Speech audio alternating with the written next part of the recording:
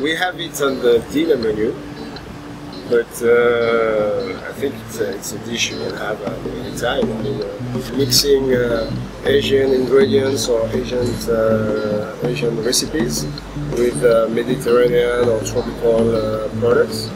Uh, so here we have uh, the, the swordfish, uh, which is grilled to get that smoky flavor, uh, and it comes with a, black bean, a Chinese black bean uh, sauce uh, with uh, garlic, and we add just fresh lemon juice and virgin olive oil.